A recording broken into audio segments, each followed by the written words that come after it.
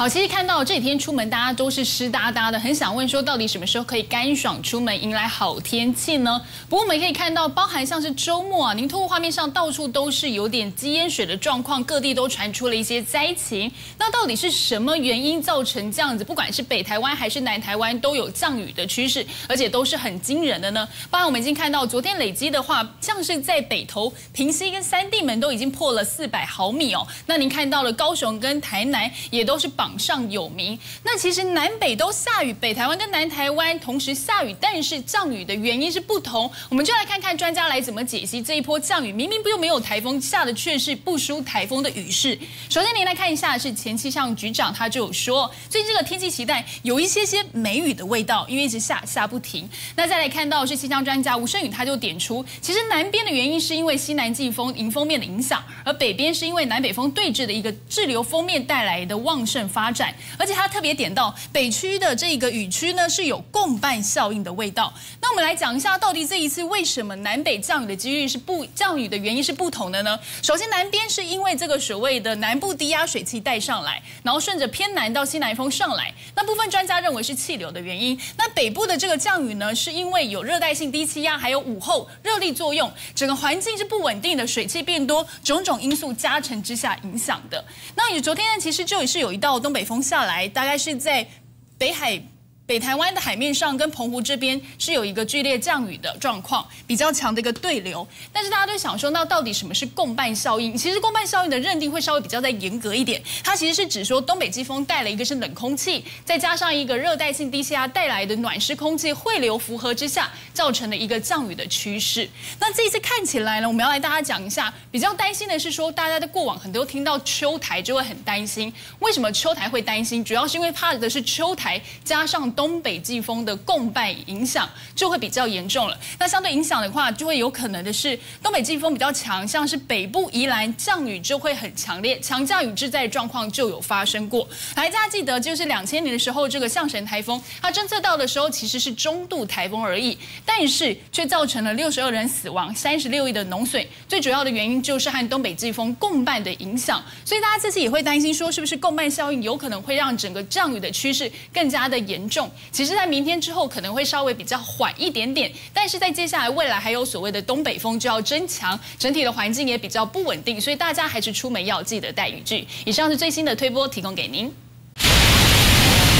滂沱大雨下不停，全台湿哒哒，快发霉。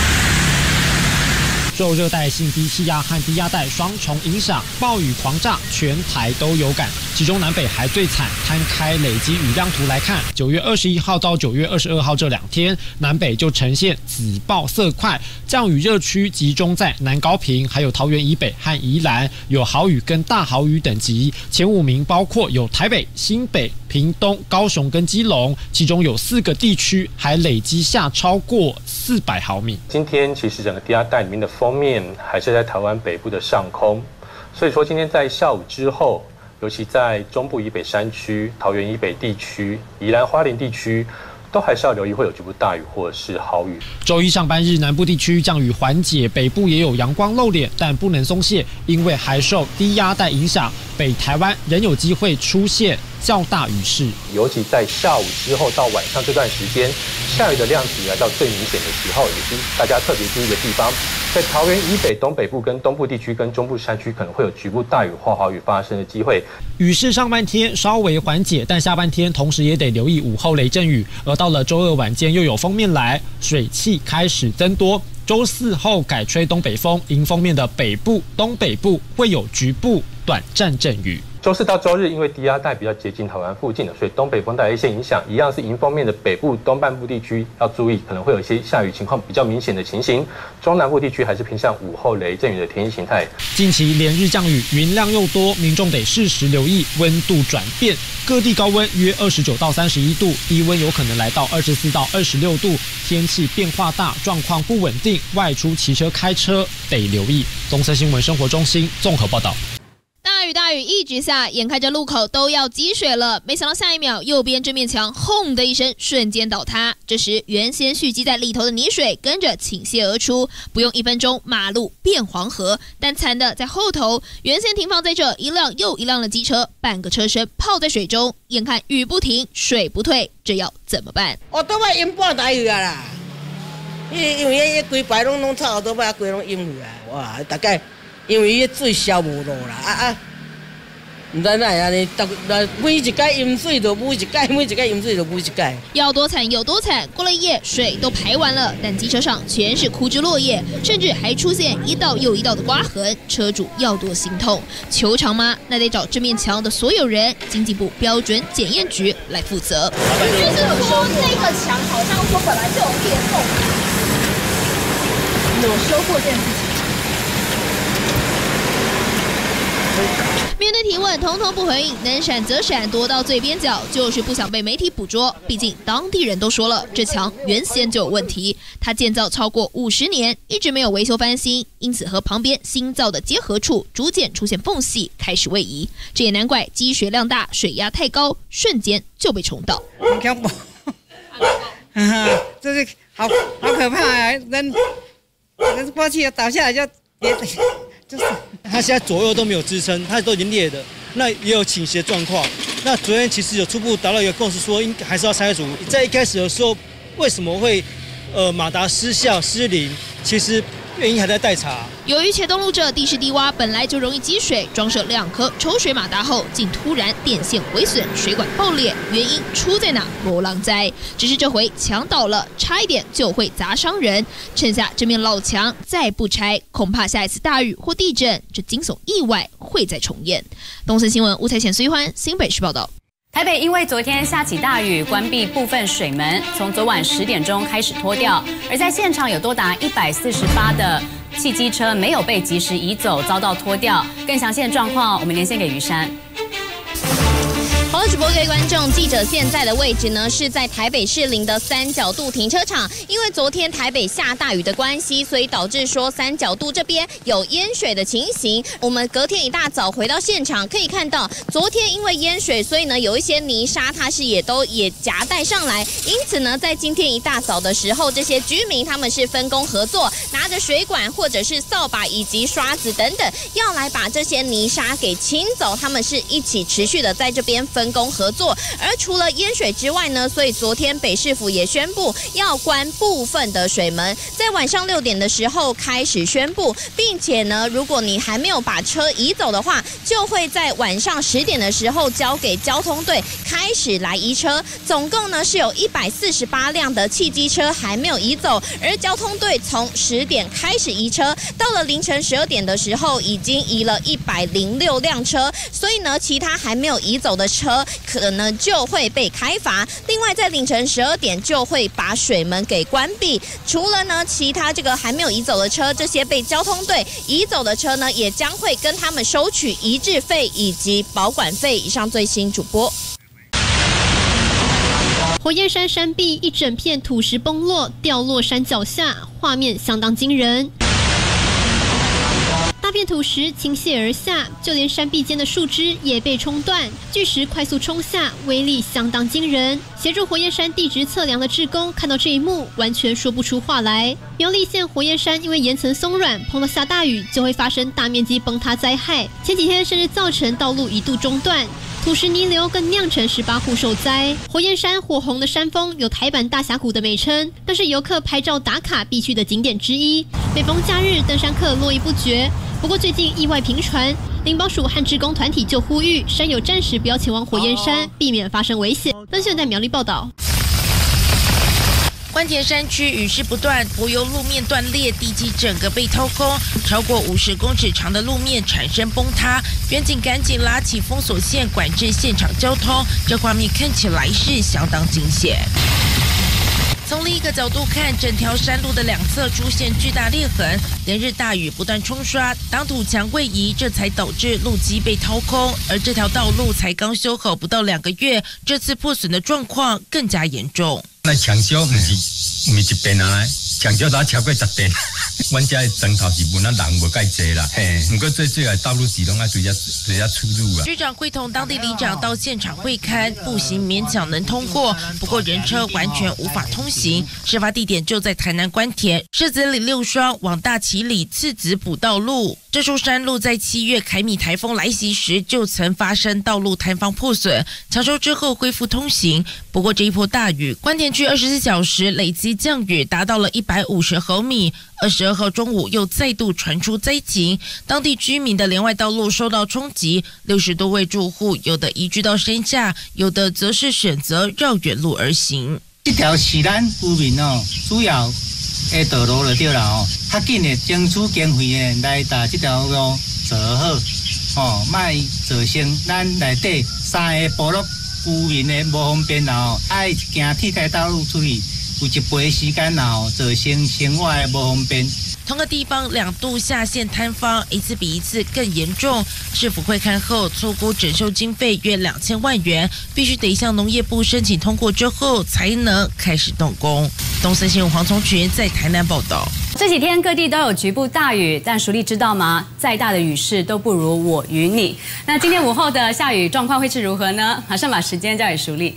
好的，仲祥，那我们赶快啊，跟着观众朋友，我们一块来看看喽。这个现在啊，这个雷达回波图啊，那么您可以看到，事实上呢，这是雷达回波图结合了风场啊，整个台湾的天气今天依旧不稳定。那我们要告诉大家，今天这种豪大雨还要在一天的时间。不过呢，尽管如此呢，南台湾的降雨。啊，其实呢会跟前两天比较之下，相较呢，今天会比较明显趋于缓和。那么以现在这个时间点，您可以看到，事实上呢，主要的水汽都是在台湾海峡上面。那么台湾这边呢，一来受到东北风的影响，二来南边还是呢比较偏南风。因此在这样的情况之下，目前有雨，而且雨比较明显的，分别在一南跟一北，另外就是在海峡上面，金门这边。那么以时雨量最大的地方啊，屏东的嘉东现在呢，时雨量有十四毫米哦。贡寮这边的话呢，也有十五毫米这样的时雨量。另外，金门注意了，金门呢今天依旧还是有豪大雨。目前像是金门的金沙这边的话，时雨量也有十毫米。我们再从雷达呃这个卫星云图当中呢，我们就要带您一块来看看了。目前呢，事实上全台各地云都多，而且呢受到啊这低气压的影响，今天呢低气压还。是持续的影响在整个台湾的天气。那么由于呢，因为一个北风，一个南风或对峙的情况之下，那么您可以看到啊，在整个台湾北部海面有一道封面。那么这封面今天也会掠过台湾，所以呢，今天来看的话，其实比较不稳定的还是以北台湾为主。至于南部来看的话，其实前两天除了受低压带影响之外，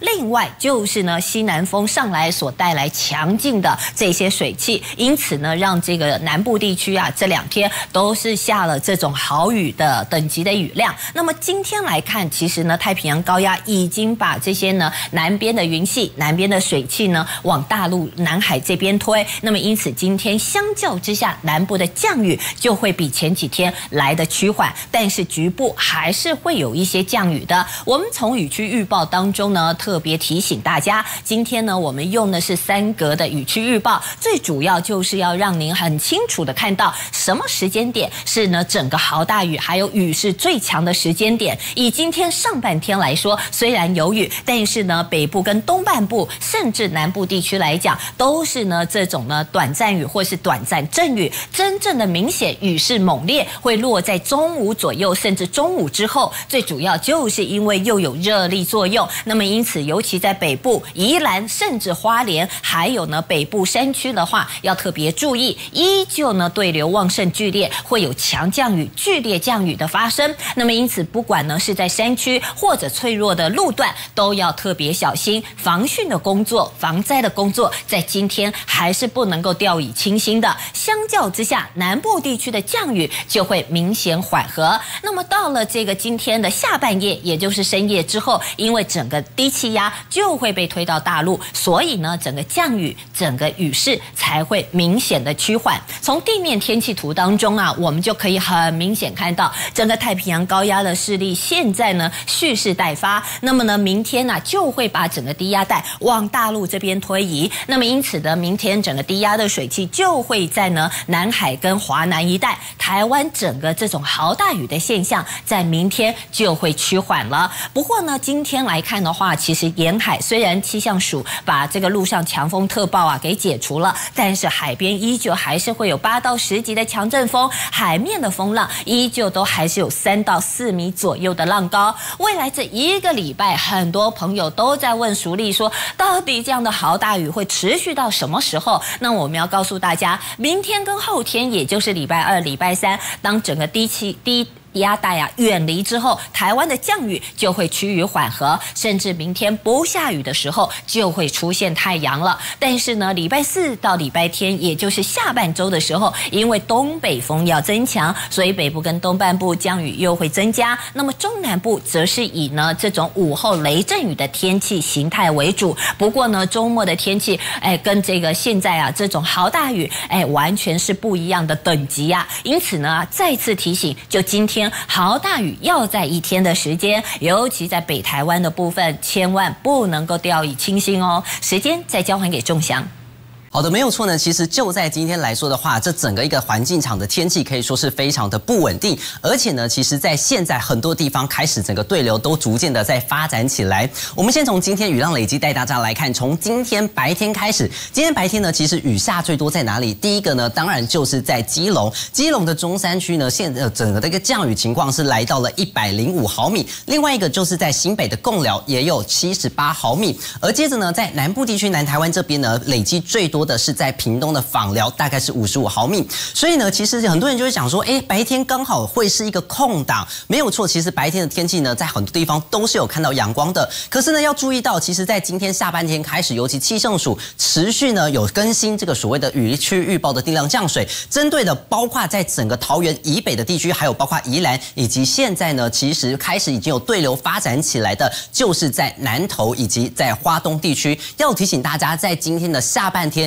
也就是接近呢，从现在开始，整个对流已经逐步的都在发展起来。要提醒大家，都还是有可能会有局部甚至是豪大雨的情况。我们这一步呢，就从地面天气图要带所有观众朋友一起来看。从地面天气当中可以看到的，就是呢，目前台湾的整个环境场，主要呢就是受到了这一个封面的影响。而且呢，现在这个封面，目前气象署看起来预计这个封面会在台湾持续的有所的徘徊哦。所以呢，在明天呢，在整个封面还是一样比较接近台湾的情况之下，环机场的水汽比较多，也是要特别注意到会有午后降雨的情形。我们紧接着就从一周天气带所有观众朋友一起来看。从一周天气当中呢，明天白天开始，整个封面呢会位于在台湾的北部海面，因此呢，整个天气状况跟今天很类似，会是时晴时雨的。但是午后要留意会有局部大雨的情况。到了明天的深夜到晚上的时候，这一道封面呢大概会通过到台湾，所以整个环境的水汽会来的比较多，降雨情况各地会出现有阵雨的情形。但是礼拜四到礼拜日要留意了，因为呢又会有东北风的增强，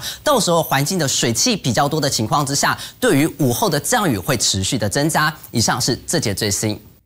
来看到昨天全台大雨，其中新北细致雨量更是惊人，从白天下到了晚上，导致茄东路附近严重积水，更冲倒围墙。不过当地里长透露，其实倒掉的这一面墙原先就已经很老旧了，还有裂痕，有没有可能是因为这样加速它倒塌呢？马上请易欢带我们去了解。好，主播几位观众，新北市汐止茄东路一百二十巷这边，昨天因为下大雨，加上积水严重，导致说后头呢有一片围墙是整面的倒塌了。不过经过一个早上的抢修，其实目前地板上这些砖头都已经清掉了。不过呢，目前这一条道路还是暂时封闭的，就是因为说后续要做安全性的评估。为什么要做安全性的评估呢？可以大家来看到，稍早倒掉的这个围墙啊，其实是这一面墙跟它是连在一起的。那其实这个墙呢，它其实是相当老旧了，已经大概是有五十多年的历史。可以看到它旁边。已经有明显的裂缝，甚至呢是跟这个前方这个新的墙面是已经不是贴合在一起了。因此说，它现在旁边的这一面墙倒了之后，现在这一面墙等于是少了一个支撑。那这样子又有倾斜的风险性在，有没有可能呢？下一次下雨太大的时候，又或者是有其他地震的时候，就会发生再次倒塌的风险？我们先来听一段稍早的访问。状况。对对对对对对，我们马上就。直接是说那个墙好像说本来就有裂缝嘛。好，可以听到，其实稍早标检局的相关单位的主管以及公所的人，还有里长这边都已经到现场来进行初步的会勘了。那他们也表示说呢，其实经过现场大概的查看之后，确认说今天这一面老旧的围墙确实会来做拆除。那么拆除了之后呢，可能才会开放这个茄东路一百二十巷这一段的来通行。一直提醒住在附近的民众，这几天经过的话要多留意，多多小心。以上现场来自最新的情况，交还棚内主播。好，说到了基隆深夜下起了剧烈降雨，在南荣路出现了严重的水灾，有热炒店地下室都淹了，损失惨重。连线给记者范宇翔，宇翔。好，直播观众，记者目前所在的地点就在基隆南荣路上这间热炒店。您从画面当中可以看到啊，现场店家在这个地下室内是摆放这个电风扇啊、除湿机，甚至是把这个塑胶椅子叠起来，通通摆放在桌子上。为什么？因为昨天其实这间店就是基隆连夜大雨之下的淹水重灾区，他们摆放这个电风扇啊，甚至是这个除湿机放在地上，赶快的来把这个地下室的水汽赶快的赶快。把它吹干或者是吸干，最主要之当中，您可以画从画面当中可以看到啊，昨天这个地下室就被淹成这个滚滚的黄色泥沙流水，从这个一楼就这样淹到整个地下室全部都是。不过呢，当时啊，因为淹水时间就发生在半夜，那么老板娘他们接获通通告之后，就赶快来到店里，当下也是吓了一跳，连夜赶快来把这个淹水给处理掉。不过现在看起来水都退去了，但对店家也造成了不少的损失。来听一下最新的访问。淹水大概就淹到这里，水因为淹很高，从后来才从这个水沟排出去的。大概花了多久时间？昨天到达到四点，花了七八个小时还没打扫完。